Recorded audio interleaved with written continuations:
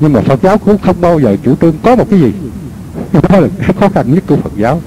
Đồng thời là cái cao siêu nhất của Phật giáo. Cái gì mà cao siêu nhất là vẫn là một cái gì? Một cái gì đó. Giàu cao siêu nhất thì cái đó cũng không phải là Phật. Bởi Phật Phật không phải là một cái gì. Và Phật cũng là không phải là, không là cái gì cả. Dạ. Đó. Thì bởi thế thì khi chúng ta nói là nhìn thấy Phật, tôi đã nhìn thấy Phật thì như thế không phải Phật. Mà nói, tôi không thấy Phật như thế cũng phải Phật, bởi vì phải nói ngược lại.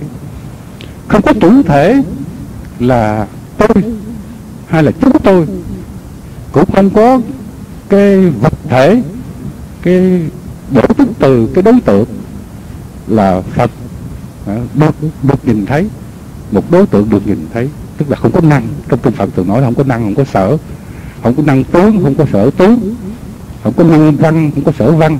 Chẳng hạn như những kinh mà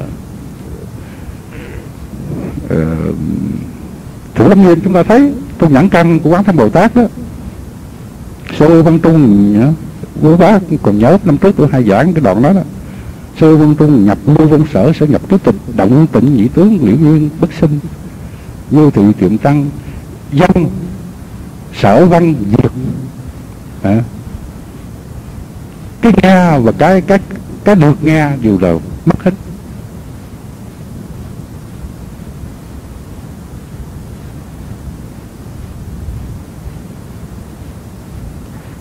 Thì uh, bởi thế trở lại cái 32 hình 32 cái tướng của Đức Phật. Thường thường có cái nhiều quý bác ở đây có một lần có một bác hỏi ờ, tình tình cờ ở chùa này bữa đó điện con đi cô ấn chân bắt điện thoại. Rồi đi cô đưa cho tôi thì có một bác ở đây nói diện chuyện ba mai hình tướng vậy đó. Ba mai tướng của đức phật. Và nói sao đức phật mới sinh từ nách? Ờ, mấy cái đó thì khó tin hay là cái chuyện mà xá lời phất có người cho nói mất trước đức phật có người sau khi đức phật mà nhập diệt lại có xá lời phất thì mấy cái điều đó nó, nó rất dễ. Mà cái cái cái, cái dễ đó mà dễ mà làm cho chúng ta thắc mắc. Chúng ta thắc mắc những điều khó nhưng mà thường chúng ta thắc mắc trở những điều dễ. Vì tất cả những cái gì chúng ta thắc mắc đó nó được xuất phát từ sáu hai biên kiến của chúng ta hết nó tóm tắt lại, là chúng ta vẫn bị kẹt trong cái thường, cái đoạn cái đó có hay không có, cái đó có cái hoặc là vô và hữu. Nhưng mà trong Phật giáo đó, nó có kỳ lạ chỗ này, là tất cả đều là giả danh hết. Tức là cái cái giả danh, nếu chúng ta học tới bát nhã đó thì chúng ta thấy bất cứ pháp nào từ pháp thấp nhất, đến pháp cao nhất, cũng đều là giả danh hết.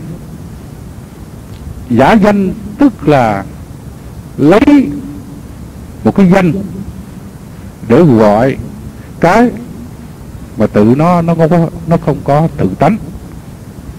Thành ra khi mà thuyết pháp, đức phật thường dùng phương tiện thiện xảo trong lúc này thì mượn giai đoạn này, mượn phương tiện này, mượn hình ảnh này để gọi một cái mà chính cái đó tự bản chất nó chính đức phật thì đức phật biết là nó không tự tánh.